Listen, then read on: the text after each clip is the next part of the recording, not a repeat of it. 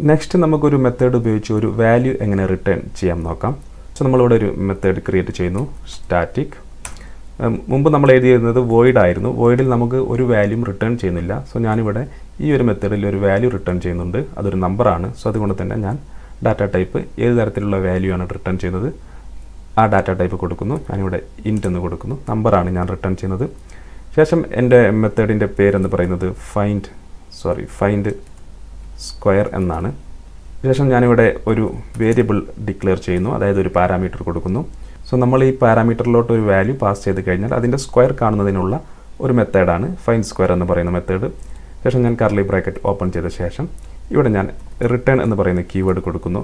Return എന്ന് പറയുന്ന keyword കൊടുത്ത ശേഷം ഞാൻ സ്ക്വയർ കാണുന്നതിന് എ ഇന്റു എ എന്ന് കൊടുക്കുന്നു.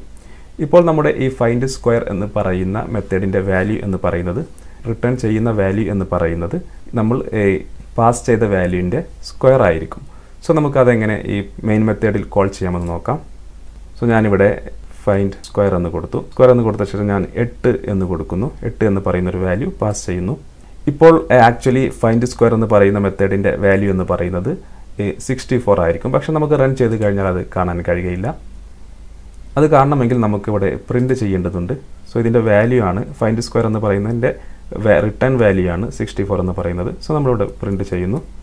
എസ് ഔട്ട് ഫൈൻ സ്ക്വയർ ഇതിനുള്ളിൽ നമ്മൾ എയ്റ്റ് എന്ന് കൊടുക്കുന്നു. ഈ ഇവിടെ കോൾ ചെയ്യേണ്ട ആവശ്യമില്ല. ഇത് ഞാൻ ഡിലീറ്റ് ചെയ്യുന്നു. സോ ഇനി നമുക്ക് റൺ ചെയ്ത് കഴിഞ്ഞാൽ നമുക്കിവിടെ സിക്സ്റ്റി ഫോർ എന്ന് ലഭിക്കുന്നു. സോ നമ്മൾ ആദ്യം ഫൈൻഡ് സ്ക്വയർ എന്ന് പറയുന്ന ഒരു മെത്തേഡ് ക്രിയേറ്റ് ചെയ്തു. അതിനെ ഒരു പാരാമീറ്റേഴ്സ് കൊടുത്തു. എ എന്ന് പറയുന്ന ഒരു പാരാമീറ്റേഴ്സ് കൊടുത്തു. അതിന്റെ റിട്ടേൺ ടൈപ്പ് ഞാൻ ഇന്റു കൊടുത്തു.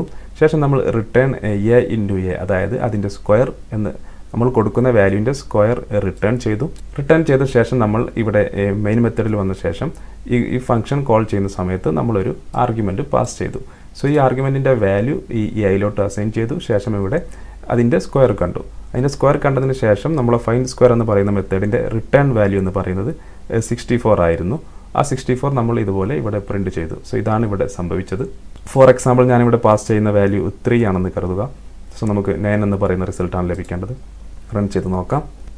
റൺ ചെയ്തപ്പോൾ നിങ്ങൾക്കിവിടെ കാണാൻ കഴിയും. നമുക്ക് നയൻ എന്ന് പറയുന്ന റിസൾട്ട് ലഭിച്ചു. സോ നമ്മളിവിടെ ഏത് വാല്യൂ ആണ് കൊടുക്കുന്നത്? അതിന്റെ സ്ക്വയർ നമുക്ക് ഇവിടെ ലഭിക്കുന്നതായിരിക്കും.